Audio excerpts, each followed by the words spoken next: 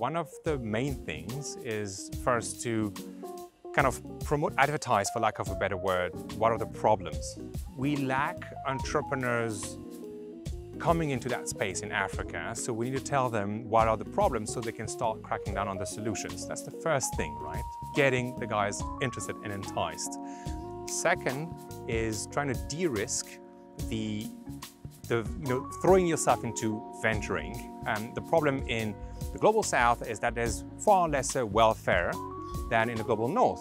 So throwing yourself into entrepreneurship is far more risky than it would be in the Global North. You don't have the same support mechanism. So investing into the nursery and providing them a bit of stipend or some kind of funding support to start with is important and the technical assistance. So supporting them with M&E practices, measurement and evaluation for the impact, but also a bit of financial support. Then another factor to entice them is clearly to talk about the success stories.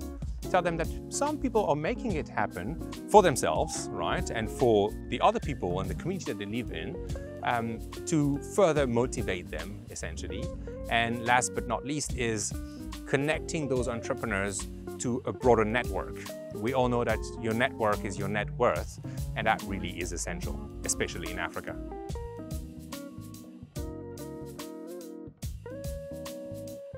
It is essential to invest in developing country directly. Africa is probably one of the least contributing continents to climate change, but being now hit the worst, right? And it's gonna get only worse from here. Um, so definitely, and especially because innovation is not just there to change the impact of our system and industries, but it's also to build adaptability. The change is happening. It's not just about mitigation, it's about adaptation, building resilience. And for this to happen, you, you have to invest locally because the resilience needs, needs to be built locally. The, the other factor here is that there's a lot of indigenous knowledge. There's a lot of knowledge that actually sits in coastal communities here in Africa, for example. And we need to leverage this because the way they manage their ocean, they know their ocean. And they've been perpetuating this for generations on without any adverse effect. So we need to leverage this, invest into that knowledge, take it, learn from it, and build solutions around it. For any investors or any people, any decisions to be made actually, you need to have a thorough understanding of what the problem is to build the right solutions. The better knowledge when it comes to ocean impact, overexploitation, pollution and climate change sits with scientists.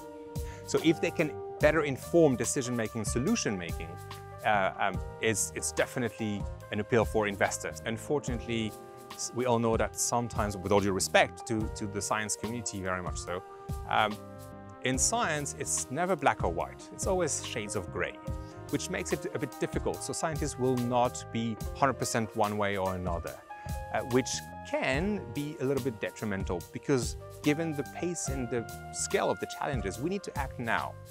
So one philosophy in the startup space is very much trial and error. Fail fast, learn from it and rebuild and, and improve. So it's a matter of translating and you know, aligning the objectives with science.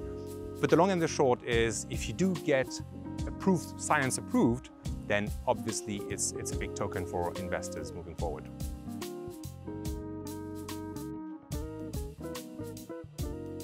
Whether we want it or not, we are going to have to change the way we live in the next 10 to 12 years.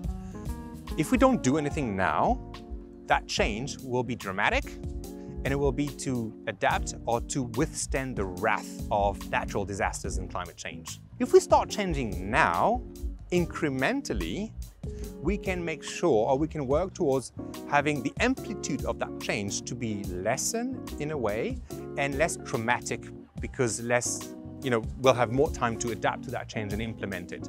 Let's make it smooth for everyone and start now.